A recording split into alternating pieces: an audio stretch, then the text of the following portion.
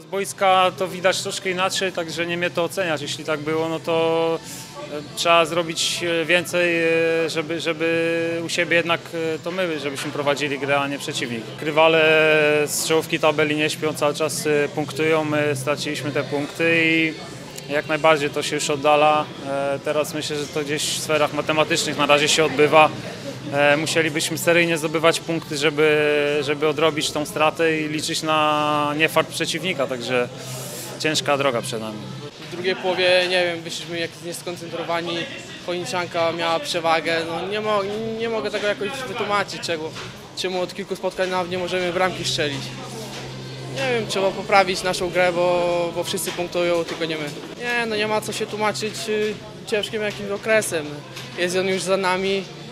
Y, Może, możemy wygodzić ewentualnie coś wolniej czy coś, ale, ale grą musimy nadrabiać doświadczeniem, a tego na boisku nie widać. No, e, fajnie, fajnie wrócić do byłego klubu, tym bardziej, że e, miło mnie tutaj kibice e, przyjęli.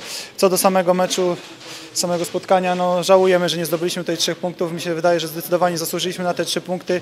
Niestety tych trzech punktów nie mamy, trzeba szanować jeden punkt i w następnym spotkaniu u siebie trzy punkty zdobyć. E, bardzo miłe e, powitanie, podziękowanie ze strony rodziców, jak i małych gieksików.